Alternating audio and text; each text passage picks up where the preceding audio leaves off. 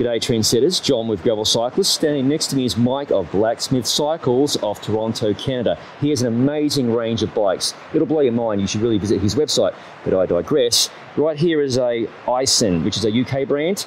Mike's going to tell us all about it. All right, so this is an Isen. Uh, this is a steel bike built in London, England. It's a collaboration between two pretty amazing frame builders in their own right, Scott and Caren. Uh, Scott does more of the fabrication. Caren takes come, care of some of the finer details and paint. Uh, they have two models, a road and an all-road bike. This is the all-road, so it'll clear a 38 millimeter tire easily. You're actually looking at a 42 on here, so there is a little bit more room. Um, it's a Columbus Futura fork uh, with um, Chris King headset, very classy combo.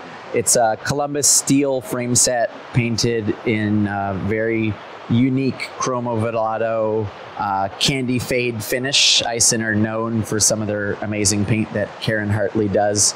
Um, some really nice touches, a cable reading system that handles external with screw in bosses or internal for DI2. Uh, the build is pretty special too. A lot of custom touches like White Industries gravel cranks uh, with chrome finish, Paul Klamper uh, mechanical brakes again with the chrome finish.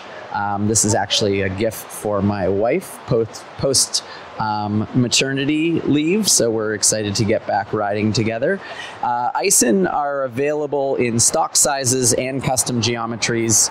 Uh, road model even comes with an integrated carbon seat post if you're looking for a little weight savings and extra performance.